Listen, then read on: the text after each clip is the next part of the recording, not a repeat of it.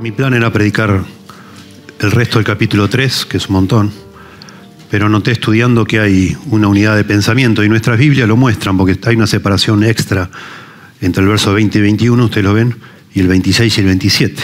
Ahora vamos a ver por qué, pero lo cierto es que me capturó la, la mente, la atención y el interés, me apasionó sinceramente ver que en, esta, en este poema, porque es un poema, se enfatiza tanto la confianza en Dios al punto que vamos a dormir de una manera deliciosa, eh, relacionado con la sabiduría. Y me parece un énfasis acá maravilloso el tema del sueño, el sueño, el sueño. Y justo en estas últimas semanas, en esta última semana diría yo, tuve providencialmente muchas consultas sobre el tema de ataques de pánico. estaba en un aeropuerto y me llama un amigo que fue la persona, una de las personas que más influenció en mi vida para dar los primeros pasos como cristiano, a los 17 años míos, y a lo mejor 18, 19 de él, no sé. Él me explicó cosas básicas de la fe y le tengo un cariño enorme.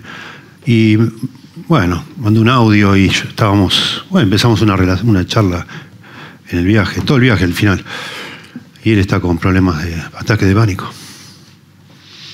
Llego acá y el otro día que llego, un pastor muy, muy cercano nuestro me dice que si le puedo dar algún material sobre ataque de pánico, que alguien en su congregación tiene ataque de pánico. Bueno. Y comencé a sospechar que alguno de acá puede pasarle lo mismo. Bueno, acá no habla de ataque de pánico, pero más o menos, más o menos. Ya hemos dado un estudio sobre ataque de pánico y el día que subamos este sermón vamos a poner el enlace ahí para el que quiera repasar el material. Pero como realmente nuestro esfuerzo de los tres ancianos acá es dejar que la Biblia hable por sí misma y no enchufarle a la Biblia lo que nos gustaría decir, no saqué ese material, o sea, no voy a poner nada de ese material. Les confieso también que me puse a estudiar como un loco una teología bíblica del sueño, porque acá habla del sueño. Y bueno, el miércoles retomamos la reunión de oración y vamos a enseñar una teología bíblica del sueño, que pienso que vale la pena. Lo que la Biblia enseña sobre dormir, dormir poco, dormir mucho, no dormir, etc. Muy interesante. Y qué cosas ayudan a que durmamos bien. Una de ellas es la que se menciona acá. Pero bueno, Aquí habla de la sabiduría y los resultados de la sabiduría, pero de una manera un tanto repetitiva por un lado, pero nueva por otro, porque habla de otro aspecto de la sabiduría. Usa palabras nuevas, diferentes, aunque están traducidas en este idioma de manera similar. Hay una manera de nosotros de practicar la sabiduría, ya no adquirirla, recibirla, buscarla como tesoros, como ya hemos visto antes, sino ahora de ponerla en práctica, que va a hacer que vivamos confiadamente, tranquilos, cuando estamos despiertos y en el momento más vulnerable nuestro, que es cuando nos vamos a la cama, o por lo menos en aquella época, era el momento donde uno está indefenso. Pero como nosotros no tenemos, nosotros no tenemos enemigos como en aquella época, que mientras dormías de pronto te liquidaban, ¿no? Como hay varias historias de la Biblia que así pasó. Pero el enemigo nuestro somos nosotros, yo digo. Mi mayor enemigo soy yo. Por eso Pablo le dice a Timoteo, ten cuidado de ti mismo ¿no? y de la doctrina. Y yo me doy cuenta que cuando no ando bien, no duermo bien. Y usted se da cuenta, ya sabrá. Si es una persona un poquito adulta, ya sabe que todo, como que cuando la cosa no está bien adentro, espiritualmente no estás en sintonía, es muy difícil dormir bien, descansar. Y, lo sabemos todos, y el mundo adulto, de alguna manera, eh, lo vemos que está en nuestra, en nuestra cultura y en otras, roto por la forma en que consumen este, psicofármacos, cosas para dormir, como todas las, muchas de las propagandas de alcohol, de bebidas alcohólicas, hablan de eso, de cómo llegas a tu casa y bajas tres cambios tomando un vinito o lo que sea, ¿no? Como que necesitamos algo extra para poder tranquilizarnos, porque vivimos alterados, muy preocupados. Y eso me parece que es lo bonito de este pasaje. Está hablándole al hijo, el padre, otra vez, otra vez y otra vez, y no es la última, va a hablar muchas veces al hijo. Parece que la manera de enseñar a nuestros hijos es repitiendo. Nuestros hijos, los jóvenes, los muchachos, necesitan que se les repita las cosas. No te amaques, no te amaques en la silla, no te amaques en la silla. Todas las sillas están, están destruidas, pero uno tiene que seguir diciendo, ¿verdad? Eso es lo de menos. Pero cuando uno quiere dejar, dejar una marca en el corazón de su hijo, tiene que repetir las cosas. Esta es la única forma. Y algún día florece eso. Parece que no lo escucha. Uno dice, no, pastor, mi hijo no me escucha. Sí, te escucha. Ya vas a ver. Sí, te escucha. Seguí, insistí, no te rindas. Un buen día vas a ver cómo eso florece. Vas a ver. Esto no lo hubiera dicho yo hace 20 años atrás, pero yo lo estoy viendo en mis hijos. Todo florece. No fue en vano. ¿Sí? No fue en vano. Como dice al final del libro de Eclesiastés, son como clavos bien hincados, bien, bien clavados, ¿no? Y nosotros no podemos llenar, por decir de una forma, el corazón de nuestros hijos de, de cientos de clavos. Gracias, sí. Después de toda una vida viviendo con vos antes de que se independicen. Gracias si clavas tres o cuatro clavos, ¿no? Buenísimo. De pronto eso es suficiente para guiarle y hay que elegir muy bien. Bueno, se ve que Salomón, que es el hombre más sabio que jamás existió, según la Biblia, está determinado a que sus hijos sean sabios. Su hijo, principalmente el mayor, que lamentablemente sabemos también por la Biblia fue un necio, quizás uno de los más grandes que hubo, Roboam. Pero bueno, el hombre intentó, ¿no? Insistió, insistió, y acá vuelve a la carga. Y dice, hijo mío, otra vez, hijo mío. Si ustedes pueden mirar la Biblia rápidamente, casi el principio de cada capítulo dice, hijo mío, noten ustedes. En el capítulo 1 no, dice el verso 8, oye, hijo mío, la instrucción de tu padre. Capítulo 2, verso 1, hijo mío, y le da con el hijo. Capítulo 3, verso 1, hijo mío. ¿Sí? Acá lo que estamos viendo, o lo que vamos a empezar a, a enseñar, verso 21, hijo mío. Capítulo 4, verso 1, oíd hijos. Y acá habla en general, más hijos tiene, tuvo más, claro. Capítulo 5, verso 1, hijo mío. Capítulo 4, me salté, verso 20, hijo mío, está atento a mis palabras, etcétera. ¿Sí? Capítulo 6, hijo mío. Noten que los que hicieron los capítulos y versículos tomaron la frase hijo mío como para empezar una nueva discusión, digamos, ¿no? Un nuevo capítulo. Como es como que recapitula y empieza de nuevo.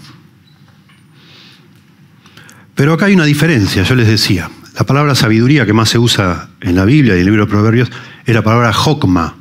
Hokma. Y habíamos dicho que esa palabra significa el arte de vivir, de saber vivir, como la manera, es la habilidad de vivir como Dios quiere que vivamos en su mundo. ¿Sí? Es como la manera de interpretar cómo Dios hizo el mundo y entonces Dios hizo el mundo con sabiduría, dice Proverbios 8, con su sabiduría. Y es nosotros tratar de entender esa sabiduría de Dios para entender el mundo, porque eso es lo que usó Dios para hacer el mundo. Entonces una persona que tiene Hokma es una persona que anda como, como que encaja en este mundo, a pesar de que es un mundo caído y no todo está como debiera, hay cosas muy torcidas. Con más razón se necesita mucha sabiduría, porque hay cosas, como dice Eclesiastés, que están torcidas y no las podemos enderezar. Tenemos que discernir, hay cosas que no puedo cambiar yo. Ni de mí, ni de ustedes, ni de mis hijos ni mi jefe, ni mis compañeros. Y necesito sabiduría para decir, ¿me meto o no me meto? ¿Meto? No, acá no me meto. Tengo que tolerar esto, ¿verdad? O buscar una, orar, buscar una oportunidad para decirlo o no decirle. Le digo o no le digo, no, no, está, eh, no me va a escuchar. Sabiduría, ¿no? Como una cosa un poco empírica, pero es algo necesario. Para no pelearme con todo el mundo, como si yo fuera un un super santo y todo el mundo torcido. No es así. Yo también estoy torcido.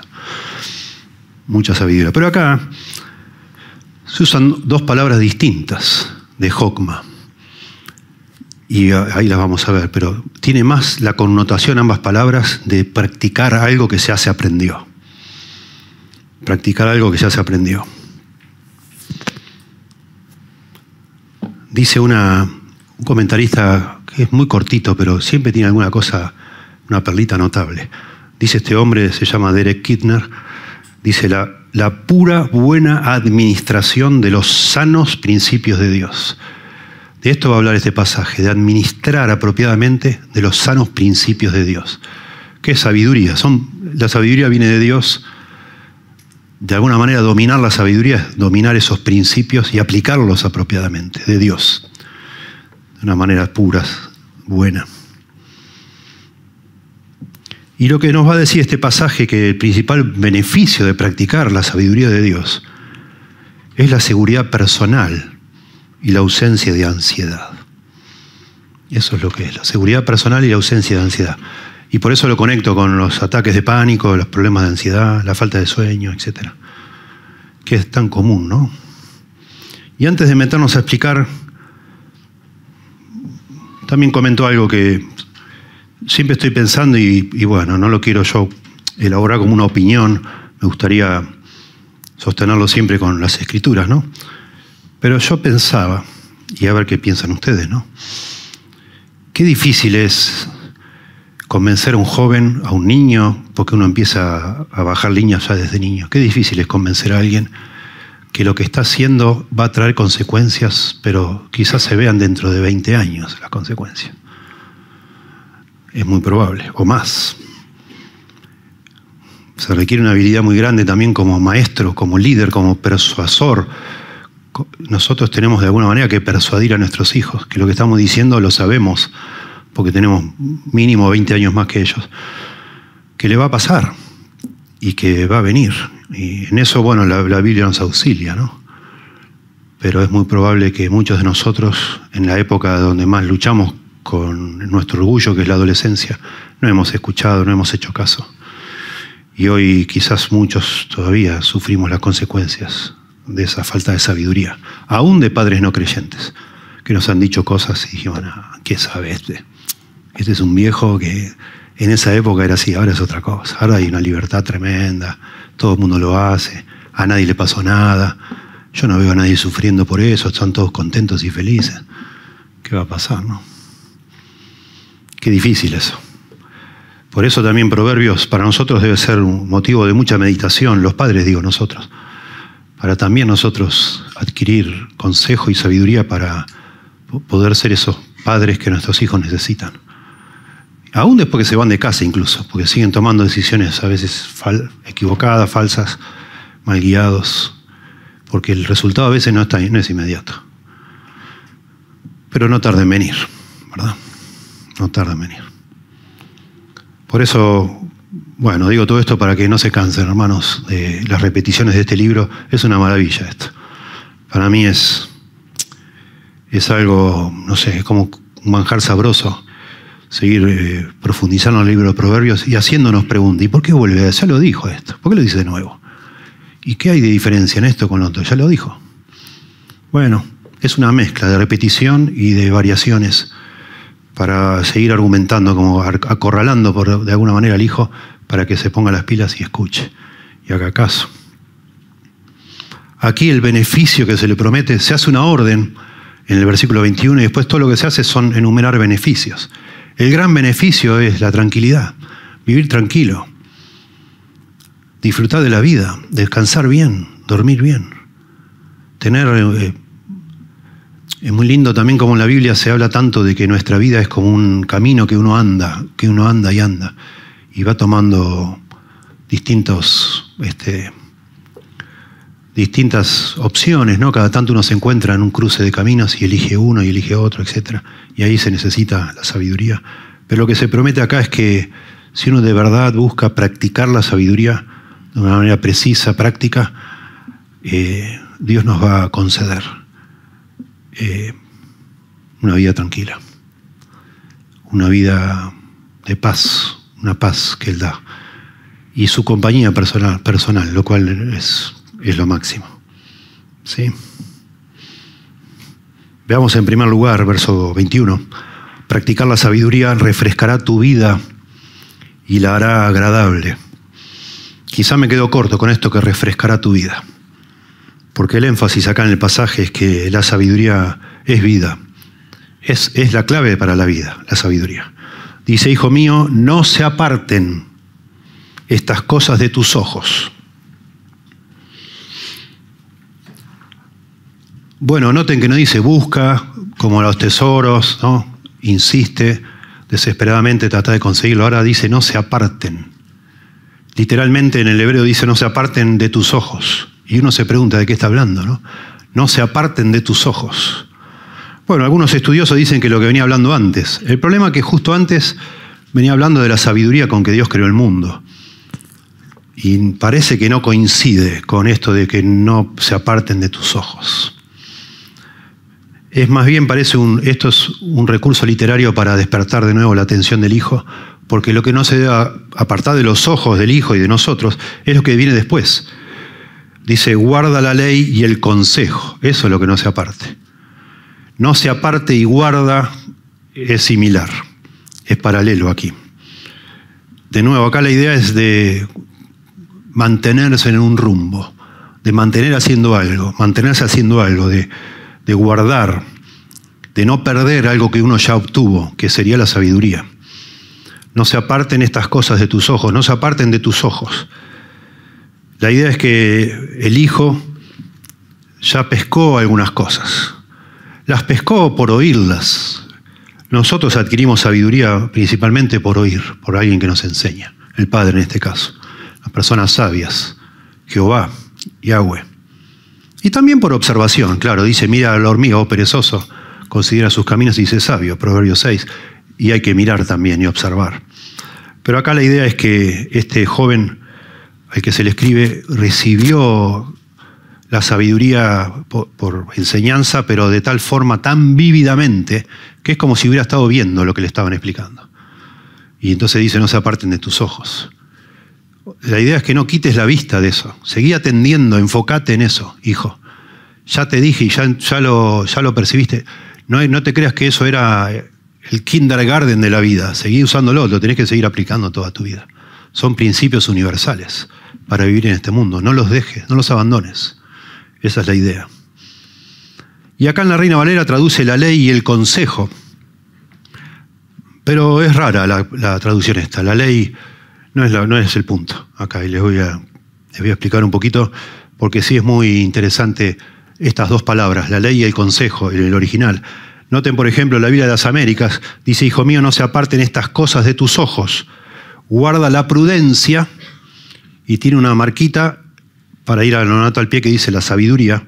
Otras Biblias dicen la buena sabiduría, porque no usa la palabra hokma, y la discreción. La prudencia y la discreción, no la ley y el consejo, la prudencia y la discreción. La Biblia, Nueva Versión Internacional, dice, Hijo mío, conserva el buen juicio, no pierdas de vista la discreción.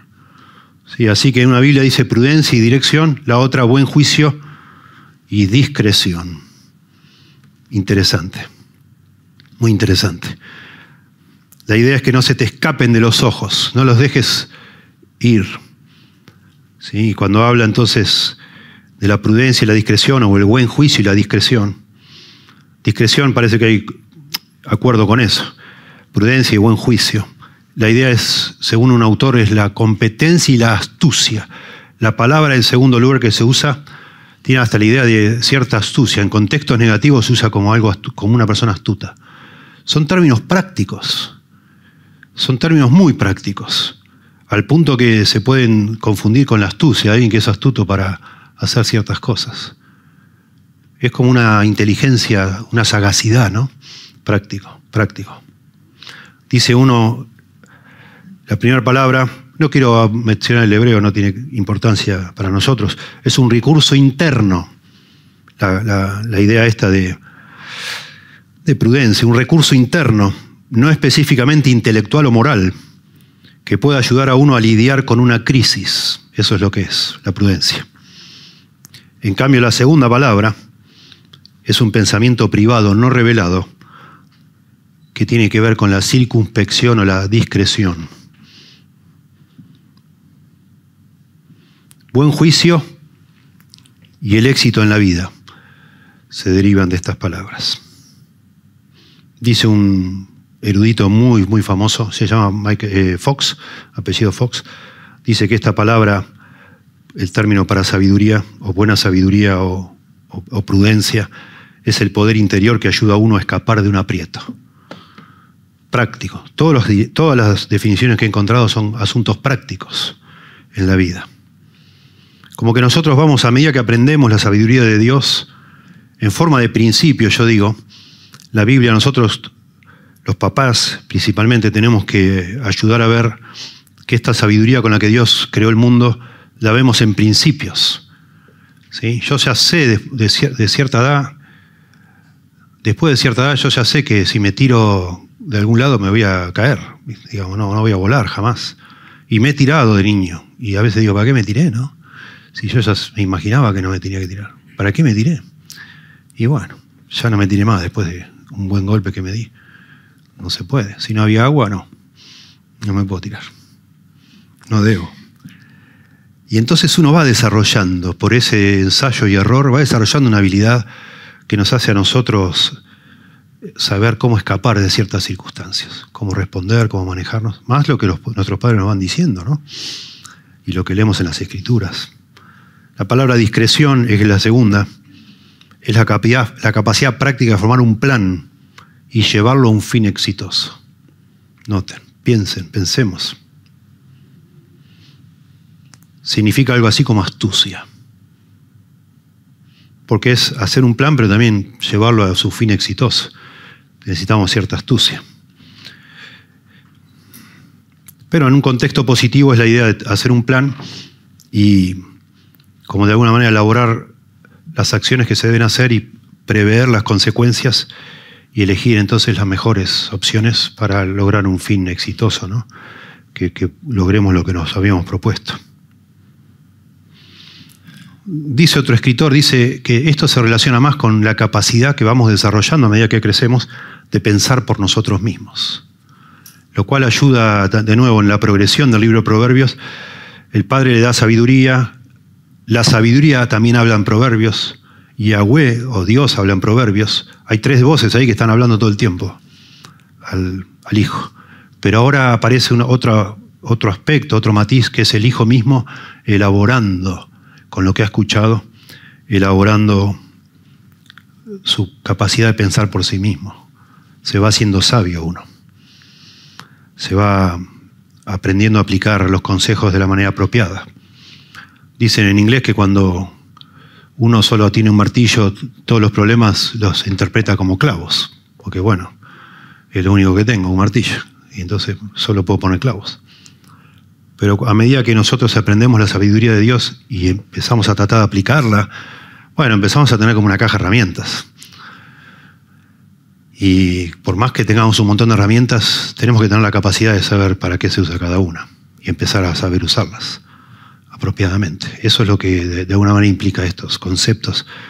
Ya es la, como que la responsabilidad cada vez más cae sobre el receptor de esa sabiduría divina, de cómo la va usando.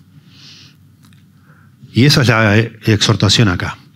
No la dejes, no la quites de tus ojos, guardala, aplicala. No te creas que, bueno, ya tenés la caja herramienta lista, ya está, ya sos un campeón, podés resolver cualquier cosa. No, la única manera es si la usas, la abrís y vas usando, y seguís usando y seguís usando, y toda la vida seguís practicando la sabiduría. Entonces, sí te vas haciendo, podríamos decir así, como un experto en la vida, porque es la sabiduría de Dios, ¿verdad?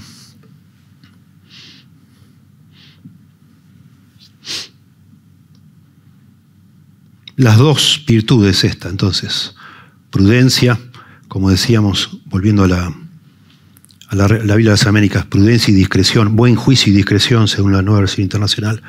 Estas dos virtudes entonces connotan, dan la idea de tener un pensamiento claro para actuar en distintas situaciones.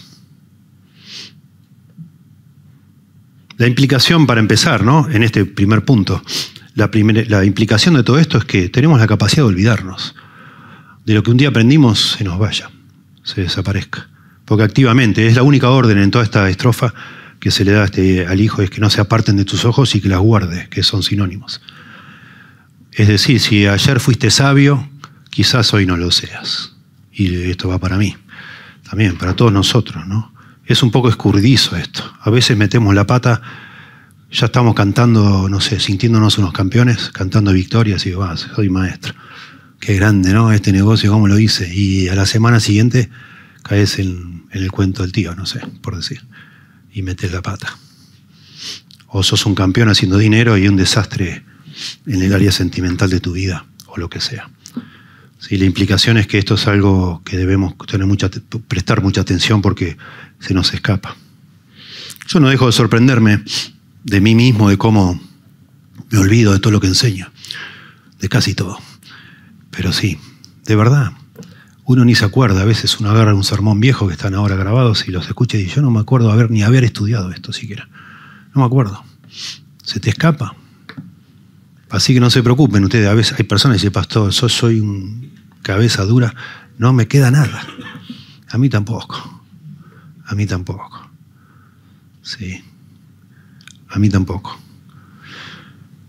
Y bueno, es la implicación en la Biblia. Por eso se repite tantas cosas. Porque se nos van, se nos olvidan. Necesitamos que se nos recuerde. Y la sabiduría es así, es como algo muy dinámico. Aprendemos, creemos que aprendemos, pero después se nos, el mismo principio se aplicaba para otra situación y no lo aplicamos. ¿Verdad? Y ese es el punto acá, entonces, de guardar, de que se nos escape de los ojos, que estemos enfocados en eso, porque las recompensas son demasiado buenas. Y las consecuencias, las recompensas de guardarlo son buenas, las, consecuencias de sacar los ojos son tristes para todos nosotros, para nuestros hijos y para nosotros, ni hablar. Y podemos dar miles de ejemplos, miles. Miren, a partir de el próximo capítulo, el capítulo 5, el énfasis más grande va a ser todos los pecados sexuales, que es una de las es una de las situaciones donde más estúpidos nos volvemos las personas.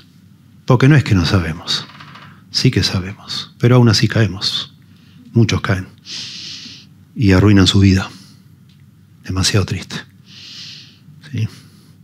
Entonces, estas exhortaciones del verso 21 ahora van a dar lugar a toda una cadena de beneficios para que el hijo también compre, digamos, ¿no? para persuadirlo. Y el primer beneficio quizás es el más impactante, porque dice, verso 22, y serán vida a tu alma, serán vida a tu alma. Es como mucho, serán la vida de tu alma, podríamos traducir también. Piensen, hermanos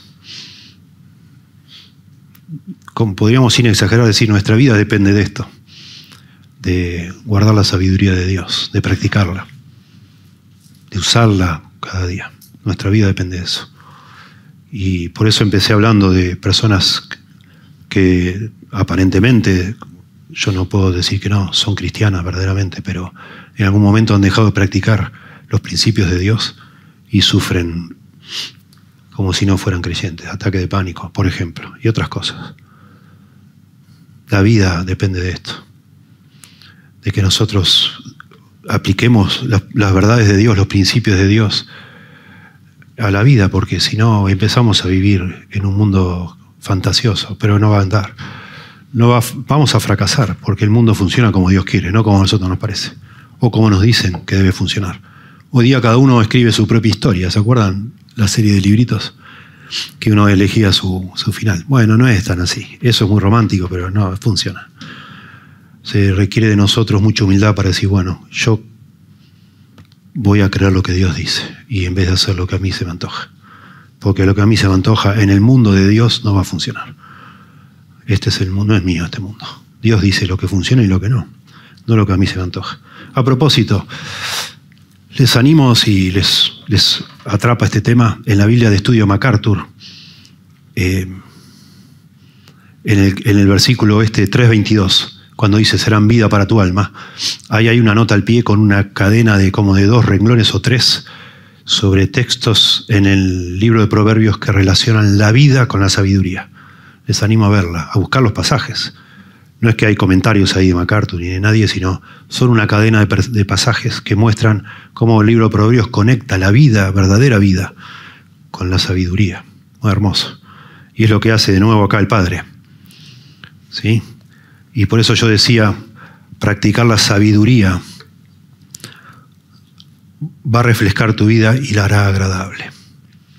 Practicar la sabiduría va a refrescar tu vida y la hará agradable. Por eso también dudaba si refrescar es correcto. Porque acá dice más que nada, dice, eh, es tu vida, es la vida de tu alma.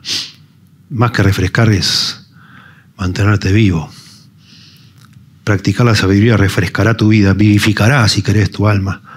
Y la hará agradable por esto del collar en el cuello. Ahí vemos. ¿Sí? Acá hay un juego muy interesante. Los hebreos seguramente lo habían percibido. va a decir que la sabiduría, practicar la sabiduría nos va a cambiar interiormente y exteriormente.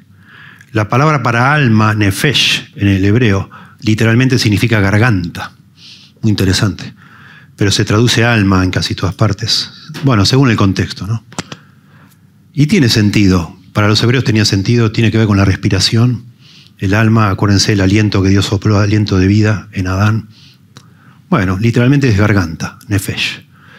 Y qué curioso que hable de, de vida para tu alma, nefesh, para tu garganta, no va ahí traducido, vida para tu alma. Y dice después, eh, gracia a tu cuello, que es donde está la parte de afuera de la garganta, digamos. Interesante. ¿no? Da la idea, por eso yo digo que practicar la sabiduría refrescará nuestra vida y la hará agradable exteriormente. Eso es el cuello colgado afuera, es algo que la gente ve, que es notorio, que es evidente, y la gente dice, mira, qué bonito, qué linda persona, qué agradable si está con esta persona. Cada vez que converso con esta persona, algo me llevo, algo me bendice, me enriquece porque habla y sus palabras son medicina para mi alma, etc. ¿no? Sabiduría se, manifiesta externamente, pero principalmente el, punto acá es que nos va a servir interiormente.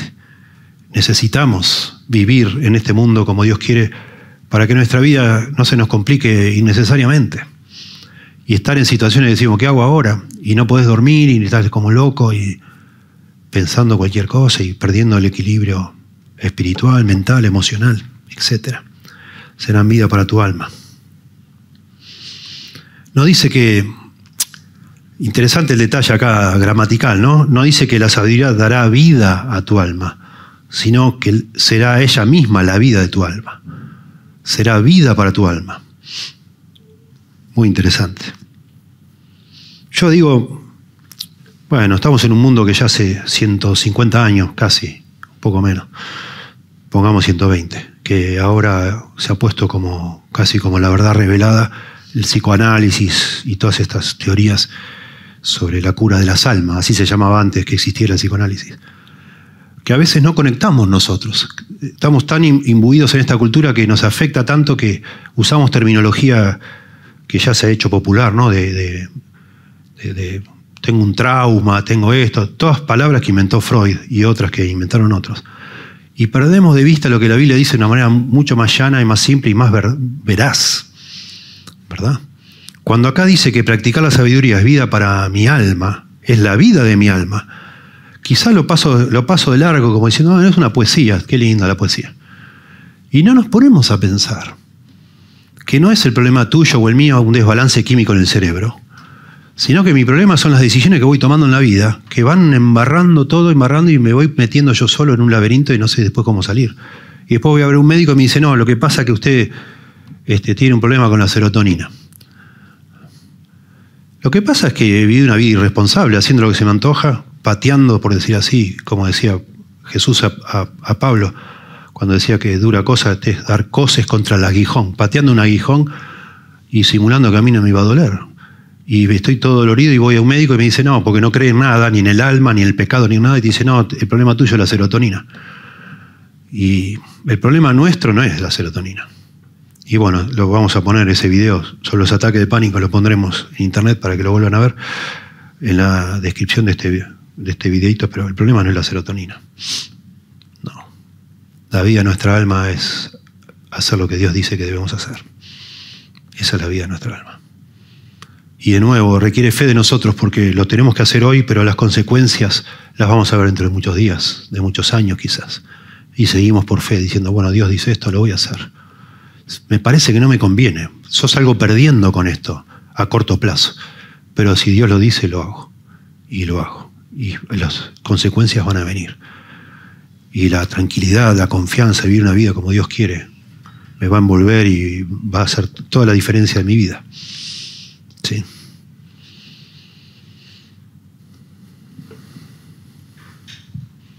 Es muy interesante. Y conectándolo con otros conceptos bíblicos como el pecado, el arrepentimiento, qué interesante esto de la sabiduría, porque Supongamos que un día fuimos sabios o empezamos a aprender sabiduría y después quitamos nuestros ojos, no la guardamos y perdimos. Pero implica también el libro de Proverbios que se puede volver. Se puede volver. Se puede uno arrepentir y decir, no, esto es ¿Qué estoy haciendo? Estoy loco. Esto está mal. ¿Por qué me desvié? ¿Por qué me, me olvidé? ¿Por qué abandoné? Y podés volver. Gracias a Dios, podés volver. Y claro, con paciencia, con quebranto, con humildad, buscar de nuevo la sabiduría de Dios y tratar de enderezar lo que torciste vos mismo, lo que torcí yo. En ese sentido pienso en refrigerio para el alma. El salmista del Salmo 119 se, presume que es Esdras. Eh, lo que más ora es vivifícame, Señor, vivifícame. Es como que él ha perdido la vida a su alma. Está en una situación donde él siente que está seco espiritualmente. Y es la experiencia nuestra. Somos imperfectos, ¿verdad? No somos así. si hiciéramos un gráfico de nuestro andar con el Señor, no es así, pum para arriba, sino es como un electrocardiograma, ¿verdad? Y hay momentos que estamos ahí abajo, en el valle de sombra de muerte, como dice el Salmo 23. Y podemos volver al Señor. Y podemos arrepentirnos y resetearnos, por decir así, decir, bueno, voy a empezar a hacer lo que Dios dice. Y se acabó, lo voy a hacer, aunque no tenga ganas. Y ya sé que esto está mal, esta es la prioridad, esto es lo que va primero, esto es lo que va segundo, esto lo voy a hacer. Y no va a tardar en venir el resultado. Va a refrescar mi alma, porque allí está la vida del alma, dice. Sí. Bueno, y después habla de este collar en el cuello, ¿no? Y gracia a tu cuello, dice verso 22, y será vida a tu alma y gracia a tu cuello. Ahí habla del aspecto externo. De nuevo, el, asunto de ser una persona verdaderamente agradable. Tener gracia, ¿no? Este, tener un adorno en el cuello. Eh, no es un asunto menor que yo trate de ser un hombre sabio, una persona sabia, para que también pueda yo bendecir a otros por fuera de mí, digamos. No es un asunto menor porque ya entendimos por, por Jesús que nuestra vida consiste en amar a Dios con toda la fuerza, toda la mente y todo el corazón y toda el alma, pero también amar al prójimo como a mí mismo. Y cuando uno ve cómo estamos todos, y sobre todo en, el concepto cristiano, lo que es un cuerpo de Cristo, una familia cristiana, yo quiero que Dios me use en la vida tuya. No quiero dármela de, campeón ni nada, no, ni nadie debería hacer eso. Pero qué lindo cuando nosotros podemos decir, mira, anda a la casa de fulano, él te va a saber explicar, te va a saber decir. Juntate con tal persona, una persona sabia. Yo lo veo sabio, siempre que estoy con él, algo nuevo, algún, algún matiz que yo no había visto, lo empiezo a ver. Y me junto con personas así y me hago más sabio. El que anda, con sabios, sabio será, dice el libro Proverbios. Y es muy bonito pensar en este aspecto externo. Cuanto más yo practico la sabiduría, más crezco en eso y más personas me llaman para contarme cosas. Como una persona que hacía 30 años que no veía y me manda un WhatsApp para contarme lo que le pasa. Qué bonito. Qué bonito. Bueno, lo ideal sería que en esos 30 años yo haya seguido andando en la sabiduría y no la haya perdido y le diga cualquier cosa, ¿no? Pero qué interesante. Qué deseable es eso, es muy deseable. Es una manera maravillosa de amar a los demás. Es una manera hermosa de amar a los demás. Estar preparado para lo que se venga y ser la persona, el recurso que otra persona pueda usar para, para estar mejor, para volver a Dios, para hacer lo que Dios le ha pedido siempre y se ha olvidado de cómo hacerlo. Bueno, en segundo lugar, eso era el verso 21 y 22. En segundo lugar, practicar la sabiduría te hará vivir confiado. Te hará vivir confiado. Entonces, noten el entonces, consecuencia. Andarás por tu camino confiadamente y tu pie no tropezará. Bueno, es muy común, ya lo hemos hablado en Proverbios antes, este entonces, que hay muchos como, este, técnicamente se llama eh, prótasis y apódosis. ¿Sí? O sea, es unas oraciones condicionales. Si haces esto, va a pasar esto. Si haces esto otro, pasará lo otro. Y bueno, acá no está el sí, si haces esto, si haces, está en forma de orden, versículo 21 y 22, o versículo 21. Entonces, consecuencia de practicar la sabiduría, andarás por tu camino confiadamente, y tu pie no tropezará. Primero una declaración general, vas a andar por tu camino, noten el tema del camino, de nuevo, insiste la Biblia con esto de andar, de andar, de caminar, es, la vida es así, es como, como se describe en el progreso del peregrino, es como andar en un camino, ¿no? con distintas dificultades, pruebas, tropiezos, complicaciones. Y andarás en ese camino con confianza. Porque te está prometiendo la Biblia que si vos buscas la sabiduría de Dios, esa sabiduría de alguna forma te va a evitar los problemas. O, o ponele que los tengas igual, porque a todos nos pasan cosas tristes y feas, pero te va a ayudar a manejar eso, con confianza. No se te va a venir el mundo abajo, no. Y entonces después agrega de una manera más concisa o más concreta, y tu pie no tropezará. Después va a hablar de, en el siguiente versículo, de acostarse. Y eso es, ya lo hemos también mencionado tantas veces, en la poesía hebrea se llama merismo, hablar de andar y después de acostarse.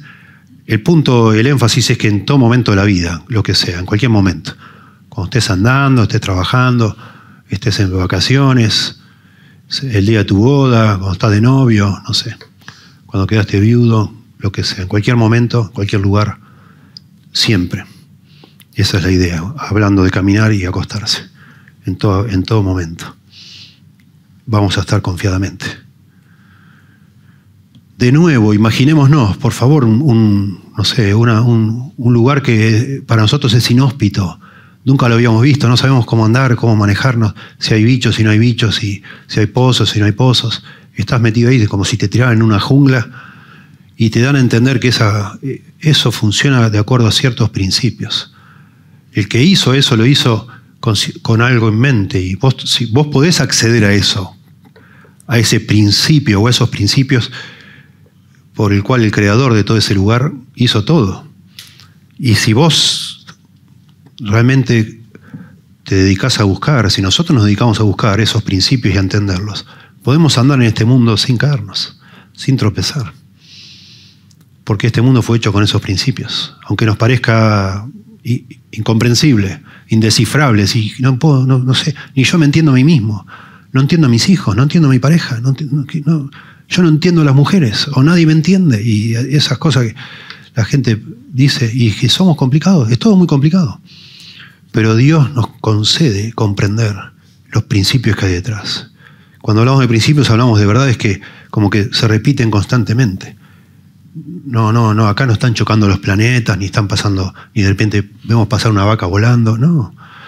Todo tiene de alguna manera cierta lógica y nosotros podemos entenderla. Y entonces cuando nos apegamos a eso, bueno, vivimos tranquilamente, confiadamente, dice acá. La palabra, cuando dice acá, tu pie no tropezará, literalmente dice, no golpearás tu pie contra una piedra. La raíz de ese concepto de, golpear es la idea de golpear con lesiones graves, incluso fatales. O sea, no, no, cuando practicas la sabiduría de Dios, vamos a estar en el mundo de Dios sin meter la pata, digamos, como decimos nosotros. Confiadamente. Maravilloso. Nuestro camino va a ser seguro, ese es el punto, cuando practicamos la sabiduría. En tercer lugar, practicar la sabiduría nos hará dormir bien. Nos hará dormir bien. Esto es lo que a mí, como les dije, más me atrapó de este pasaje. No lo quise pasar así de largo. Dice verso 24, cuando te acuestes no tendrás temor. A eso engancha, ¿no? Lo anterior con esto. Porque ya estaba hablando de confiadamente y acá está hablando de otro aspecto de confiado, pero al acostarnos ahora, no cuando andamos, ahora cuando nos acostamos. Sino que, contraste, te acostarás y tu sueño será grato. A pesar de todos los problemas de la vida, tu sueño será grato. Y agrega verso 25, no tendrás temor de pavor repentino, ni de la ruina de los impíos cuando viniere. Qué precioso esta sabiduría, vivir bajo esta sabiduría, guiados por esta sabiduría de Dios, práctica, nos hará vivir en paz, paz mental. Y lo vamos a percibir más que nada cuando dormimos, que es cuando involuntariamente uno, bueno, a veces uno está durmiendo y involuntariamente no está tranquilo y está teniendo problemas de todo tipo. Y acá dice que eso no va a pasar. Si practicamos la sabiduría, si vamos manejando los problemas de acuerdo como Dios enseña, usando los principios bíblicos, no ignorándolos. He hablado de un sueño placentero, te será grato, dice. Un sueño que no tiene sentido, digamos. Yo no sé si se acuerdan allá en Hechos 12, cuando Herodes pone preso a Pedro para matarlo. Habían matado ya a Santiago, el, primer apóstol mártir. Ya habían matado a Esteban, pero Esteban no era un apóstol. Pero Herodes mató a, a Santiago. Y como vio que a los judíos le cayó bien eso, que ganó popularidad y el hombre no era muy popular, agarró a Pedro y lo metió en la cárcel para matarlo también en Hechos 2 se muestra que al final murió, el que murió fue Herodes, un ángel lo mató. Pero Pedro se quedó dormido en la cárcel. Qué lindo. Lindo pasaje, digo, ¿qué hace durmiendo Pedro? Estaba, dice que estaba mm, encarcelado, estaba esposado y con cadena, encadenado. Y se quedó dormido. Y vino un ángel a despertarlo. ¿Cómo te puedes quedar dormido cuando sabes que te va a matar Herodes? Bueno, Pedro se quedó dormido. ¿No es precioso? Y David se quedó dormido un montón de veces. Nos muestra el Salmo 3, el Salmo 4, y en todos el contexto es de persecución. Mientras lo perseguía Saúl para matarlo, él se... Yo me acosté y dormí, dice, y me desperté, porque tu mano me sustentaba. En paz me acostaré y asimismo dormiré, porque solo tú, Jehová, me haces vivir confiado, dice el Salmo 4. Precioso. Eso es algo de Dios que concede a las personas que también, porque esto implica la fe, que por fe dicen, bueno, yo voy a hacer lo que Dios dice, Él sabrá. Y Dios nos concede esa paz maravillosa. Un sueño grato, placentero, aún en las circunstancias más feas, que uno diría, no, yo no puedo dormir acá. Salmo 63 es otro ejemplo. Dice en, en la superinscripción, dice que es cuando estaba en el desierto de Judá, David, y creemos todos que es, bueno, no todos, exageración, creemos muchos, que es cuando lo perseguía su hijo Absalón. Y él sabe, David sabe que su hijo tiene el poder militar para matarlo. Y la primera noche, el hombre se acuesta. A lo mejor usó una piedra de almohada, no sé. Pero es uno de los salmos, no quiero exagerar, desde lo que yo vi, en algún lado leí, es uno de los salmos quizás, uno de los poquitos salmos donde no pide nada a Dios. David no pide nada solo está feliz porque está meditando en las excelencias de Dios. Él se pone a meditar en Dios y se queda dormido. No se pone a pensar en lo que le pueda pasar a él. Está absorto con la persona de Dios y duerme como un osito. Tremendo. Miren, ya hemos hablado acá de la depresión. Bueno, hemos hablado del púlpito, la depresión, del ataque de pánico, no, lo hicimos en las clases por Zoom, pero siempre hemos mencionado acá que el problema de la depresión y los ataques de pánico están relacionados. Es más que nada la manera en que nosotros interpretamos las cosas que nos pasan. Cuando nosotros nos pasa algo, llamémosle una ocasión, algo que dispara, digamos así, algo indeseable, dispara un mecanismo y yo respondo mal a eso porque lo interpreto mal. Y entonces me voy a la cama y empiezo a pensar y a pensar, digo, uno, ¿y ahora qué hago? ¿Y qué me van a hacer? ¿Y por qué me dijo esto? ¿Y qué estará tramando? ¿Me será que me quieren quitar el puesto? O no sé qué, me está arruchando el piso. y empezás a dar vuelta y vuelta y vuelta. Y llega un punto que tanto pensás en eso que vos interpretás que lo que estás pensando es la realidad. Pero no es la realidad es tu interpretación de la realidad. Y ahí empieza ese mecanismo que es tan, tan vicioso, es un círculo vicioso, que llega un momento que eso se potencia, se potencia, se potencia. Y bueno, caes en una depresión profunda o en un ataque de pánico. Pero qué interesante que el mecanismo eso tiene que ver con interpretaciones de uno de lo que le pasó, no con la realidad misma. Por eso decimos que los peores enemigos nuestros somos nosotros. Es porque yo tengo la tendencia, y vos también, a, creer que lo que yo interpreto es la realidad. Yo estoy seguro que es así. Yo estoy seguro que me lo dijo a propósito. Yo estoy seguro que esto no va a funcionar. O estoy seguro que no voy a conseguir otro trabajo. Estoy seguro lo que sea. Y me empiezo a manija, manija, manija, manija. Y entro en una depresión profunda. Bueno, la sabiduría de Dios, esta que se practica, la prudencia que dijimos, y esta capacidad de establecer planes y llevarlos a cabo con la ayuda de Dios. Eso es, de alguna manera, es la capacidad de interpretar correctamente las cosas. Nosotros decimos nos damos manija. Bueno, a veces lo hacemos sueltos de Dios. Empezamos a pensar aparte de Dios. Nos creemos sabios en nuestra opinión, dice la Biblia. Y eso es lo que dice acá, que es la característica notable de un necio. Se cree sabio en su opinión. La invitación del Padre acá al Hijo es que no haga eso. Que eh, busque sabiduría de Dios. Y entonces, apoyado en esa sabiduría de Dios, tomando decisiones de acuerdo a esa sabiduría, va a dormir tranquilo, gozoso, apacible, porque no va a estar confiando en esas interpretaciones, que es la que nos llevan a, a ese estado casi de locura, no sé.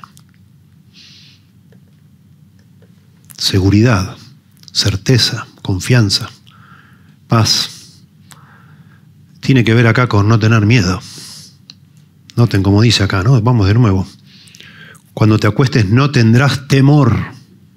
Temor.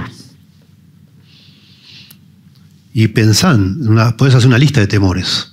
Y pensá cuando vos estás así en ese modo obsesivo, pensando y pensando y pensando y pensando. Son temores de cosas que vos no sabés que puede ser. Y no es, de alguna manera, decir, bueno, Dios, ya, gracias por tu sabiduría, esto lo voy a manejar yo. Y ahí estás, lo que es. Temores. Sino que te acostarás, contraste, sino que y tu sueño será grato. No tendrás temor de nuevo, de pavor repentino. Bueno, acá la palabra pavor es muy parecida a pánico. y me causa gracia por esto de que ahora se llama, está como de moda, antes no se hablaba de esto. Cuando yo era chico nadie tenía un ataque de pánico. O lo tenían, pero no le llamaban así, ¿no? Y acá la idea es de pavor repentino es algo que te acontece de manera repentina, ¿sí? súbdita inesperadamente, ni de la ruina de los impíos cuando viniere.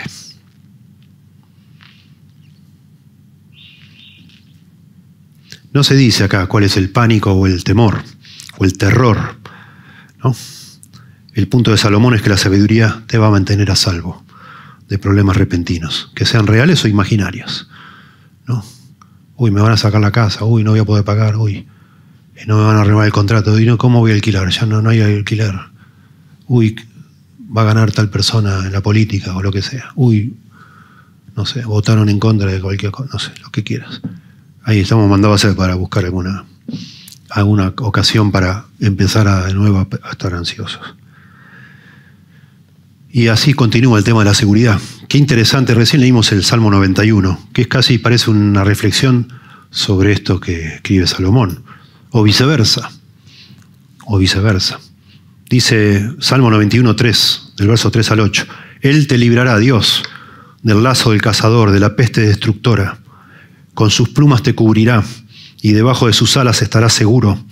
Escudo y adaga es su verdad. No temerás el terror nocturno, ni saeta que vuele de día, ni pestilencia que ande en oscuridad, ni mortandad que en medio del día destruye.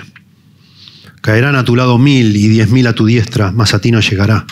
Ciertamente con tus ojos mirarás y verás la recompensa de los impíos.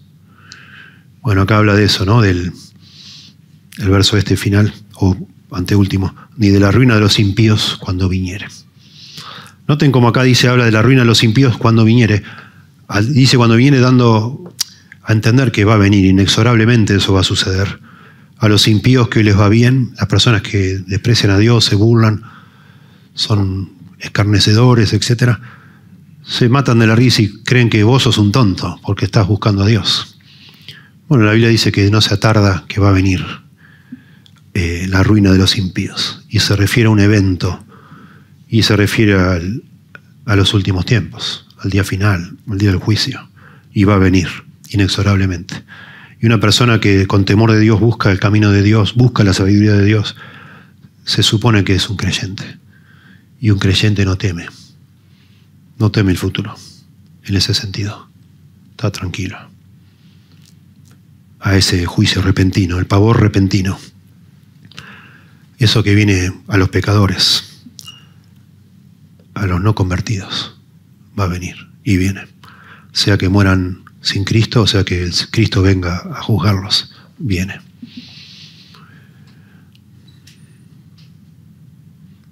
Al final nos damos cuenta que venimos enfatizando, si practicamos la sabiduría pasa esto, si practicamos la sabiduría pasa lo otro, si practicamos la sabiduría pasa tal cosa. ¿no? Refrescará nuestra alma y nos hará agradables, nos librará de temores, andaremos confiadamente en la vida, descansaremos placenteramente, pero al final, y como siempre la Biblia lo hace, para que no nos confundamos, se introduce Dios acá, en esta fórmula. No es todo mecánico, como decir, bueno, yo aplico esto, 2 más 2, 4, 4 por 4, 16, y ya, hago esto, hago lo otro, y me funciona la vida, ya no me caigo ni un pozo. No, no es así. Buscar la sabiduría de Dios es buscar a Dios. Eso es lo que es. Y el que va a hacer que tenga vida tu alma es Dios, por medio de su sabiduría. El que va a hacer que tu vida sea agradable es Dios. El que va a hacer que yo ande sin temor es Dios. El que va a hacer que yo duerma confiadamente, de nuevo, no es, no es un principio, es Dios. Los deístas, las personas que creen en Dios, pero nada más que eso, creen que Dios es como un relojero que armó el reloj, le dio cuerda y listo, funciona solo. Y ya está Dios dedicándose a otras cosas más importantes. La Biblia dice que nuestro Dios no es así, es personal. Y nuestra relación con Dios es vital. Cuando yo busco la sabiduría de Dios, la busco como un acto de adoración. Tiene que ver con mi relación con Dios. Yo le reconozco a Dios como mi dueño, mi Señor, mi Rey, mi Salvador, por supuesto, pero reconozco que Él es el que hizo todo y yo soy simplemente una criatura insignificante. Y entonces, cuando busco su sabiduría, definitivamente lo en definitiva lo que estoy haciendo es ponerme bajo su autoridad. Y con confianza, con amor, establezco una relación con Él y Él es el que me guía, en definitiva. Entonces finalmente decimos, pensando en el verso 26, porque acá noten que dice porque, como que pone la razón de todo lo que anterior decía, lo que decía anteriormente, todos los beneficios, porque, ¿por qué te va a pasar esto? Bueno, porque Jehová será tu confianza. Y Él preservará tu pie de quedar preso. Él es el que lo va a hacer. Y por eso, en, cuarto lugar, cambiamos la frase. En vez de decir, si practicas la sabiduría pasa esto, si practicas la sabiduría pasa lo otro, decimos, Dios refrescará tu vida. Dios te hará vivir confiado. Y Dios te hará dormir bien cuando practiques su sabiduría. Ese es el punto. Y Pablo dice, no os engañéis, Dios no puede ser burlado. Todo lo que el hombre sembrare, eso también segará definitiva es un tema personal con nosotros y Dios. Si lo vamos a tomar en serio o no lo vamos a tomar en serio. Y nunca vamos a ser defraudados. Ese es el verdadero, la clave de la sabiduría. El principio de la sabiduría que es el temor de Jehová. El temor de Jehová. Yo temo a Dios y por eso trato de ser sabio, porque sé que le agrada a Dios que yo siga sus instrucciones. Andar en sabiduría es andar en los caminos de Dios. Y andar en los caminos de Dios es andar en sabiduría. Son sinónimos. Y dice algo hermoso acá, porque dice, porque Jehová será tu confianza. Literalmente dice, porque Jehová estará a tu lado, junto a vos. Y Él preservará tu pie de quedar preso. Ya había hablado del pie antes, de no tropezar. Y vuelve con el tema del pie. Qué hermoso, ¿no? Dice una versión, guardará tu pie para que no sea atrapado. Otra dice, guardará tu pie del lazo. Bueno, de nuevo, esto de andar, andar, andar, el pie muy significativo acá, de andar y andar la vida como un, como un, como un viaje. Y de repente en ese viaje venías solo y de repente un día entregaste tu corazón a Cristo entendiste el Evangelio, te sujetaste a Él, te humillaste, le pediste a Dios que te salve, le pediste perdón por tus pecados, creíste que Él murió por vos en la cruz y ya no estás caminando solo nunca más. Y está el Señor con vos. Y de ahí viene, esa es la vida de tu alma. Eso es lo que te hace diferente, agradable a los demás. Hay algo distinto dentro nuestro. No es algo nuestro. No es algo que, que nos podamos jactar o aplaudirnos la espalda. No, es el Señor. Y ya no tenemos miedo de tropezar, el Señor está con nosotros. Nos va a pasar las mismas cosas. Como Jesús contó del hombre este que escuchó lo que Jesús decía y lo puso en práctica. Y vinieron los vientos y vinieron las lluvias y se le habrá mojado el felpudo, aunque sea, ¿no? la entradita, algo le habrá pasado. Pero su casa no cayó, quedó en pie. Sí que nos pasan cosas a nosotros también, pero estamos con el Señor, o el Señor está con nosotros, y eso cambia todo. Y ese es el, de alguna manera la conclusión, acá el clímax de todas estas promesas, es que el Señor va a estar con nosotros. El necio vive confiado en su propia sabiduría, cree que es sabio, se percibe sabio. La persona sabia comprende que esta vida está llena de problemas y que probablemente de algunos de esos problemas no lo libre Dios, pero sí Dios va a estar ahí acompañándole. Y eso hace toda la diferencia del mundo. Va a guardar nuestro pie, dice acá. Su presencia, el resultado de nuestra estabilidad, de nuestra fuerza, es que el Señor está ahí guardándonos. Jehová es mi luz y mi salvación, dice el salmista, Salmo 27.1, ¿de quién temeré? Jehová es la fortaleza de mi vida. ¿De quién he de atemorizarme? Ahí está la clave. Dios está conmigo. Yo y Dios somos mayoría, dijo alguien. Y sí. Si Dios está con nosotros, dice Romanos 8:31, ¿quién contra nosotros? ¿Quién se ve? Acá estamos listos para pelear. Y yo sé que estoy con Dios. Y ahí vienen los problemas atacarme. Y me acuesto y duermo como David, porque Dios está conmigo aunque estoy rodeado de problemas. Dice Jeremías 20:11, mas Jehová está conmigo como poderoso gigante. Por tanto, los que me persiguen tropezarán y no prevalecerán. Jeremías 20:11. Caminar en la sabiduría de Dios no solo nos asegura la presencia de Dios, sino que también nos asegura que no seremos llevados a ningún daño. Caminar en los caminos de Dios significará que nunca caeremos en la trampa que trae la insensatez, la necedad. El que emprende ese viaje de la vida con Dios tiene asegurado un paso seguro. Qué interesante, qué interesante, qué necesario, qué recordatorio precioso. Quizás las personas cristianos que están sufriendo problemas emocionales. ¿Qué está mal dicho, problemas emocionales? Un problema emocional sería que vos no te puedas emocionar, que no tengas emociones. Eso sería un problema, porque una persona que tenga ataques de pánico, ansiedad, depresión, las emociones le funcionan muy bien. Por eso está así, ¿verdad? Eh, y el problema es que cuando vas al médico te ponen drogas para que no tengas emociones. Ahí empiezas a tener un problema emocional, en realidad. Te desconectas de todo.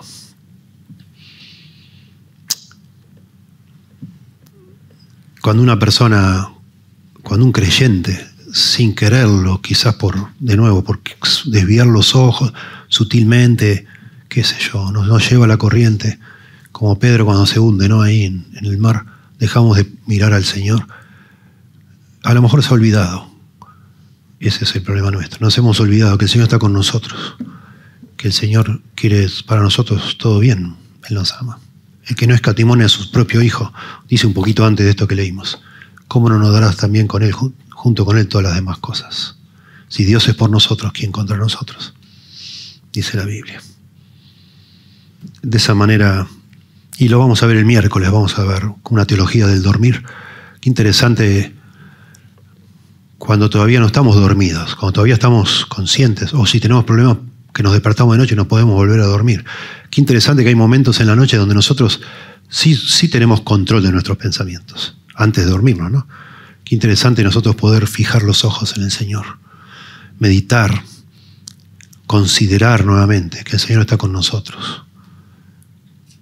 confiar en Dios, enfocarnos en confiar en Dios, meditar en la palabra de Dios, orar, ¿verdad? Ya vamos a ver, pero en la Biblia vemos de personas que se levantaban de noche para orar. Jesús hizo eso. Qué interesante si tienes un problema ya por, por la ansiedad de que te, te despertás y no te puedes dormir. ¿Por qué no usás ese, ese tiempo para buscar a Dios? Con la palabra abierta y orando, para de nuevo poner el foco de tu vista en la presencia de Dios en tu vida. Eso cambia todo. ¿Sí? Conclusión aquí, su sabiduría, la sabiduría de Dios puesta en práctica, será la fuente de vida para nosotros, será la vida para nosotros, verso 22. Y también fuente de seguridad, versos 23 y 24. No tenemos razón, no, hay, no debería haber razón alguna para tener pánico, verso 25, porque Jehová, Dios, garantizará nuestro bienestar, verso 26. Sí. Y como apéndice de esta ruina de los impíos que dice acá, la ruina de los impíos, verso 25. Interesante en Tesalonicenses cómo describe eh, Primera Tesalonicenses 5.3. Cuando digan paz y seguridad, entonces vendrá sobre ellos destrucción repentina, como los dolores de la mujer encinta y no escaparán. Hablando del el fin, cuando empiece el tiempo del fin, cuando ya se acabe todo y el Señor ya no haya más que hacer. Que el Señor nos encuentre a todos confiando en Él, ¿no? Pasa en las iglesias y pasa en esta y en todas pasará. Que hay algunos que están entre nosotros que todavía no han, por alguna razón, quizás la razón última es el orgullo de no reconocer que necesitas a Dios en tu vida. Pero si vos sos una de esas personas que todavía no tiene a Cristo en su vida, eh, pende sobre vos una destrucción repentina, así dice. La ruina de los impíos, acá le llama. No te sentís impío, por eso estás acá, de pronto hace ya tiempo que venís, y bueno, soy un, creyente, o hasta acá estoy en el camino. Bueno, cuidado. La Biblia enfatiza mucho esto de hoy, hoy, hoy.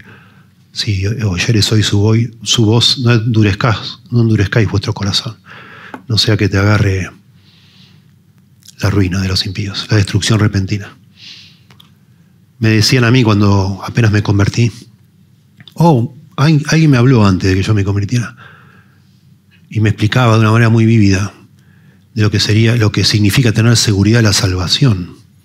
Me decía, imagínate acostarte y estar tranquilo aunque se, pienses que el techo no se te va a caer encima.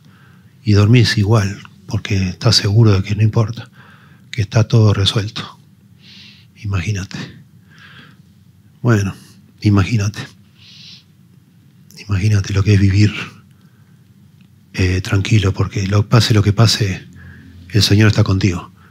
Y si te morís, vas a estar más vivo que nunca, porque vas a estar con Dios en el cielo.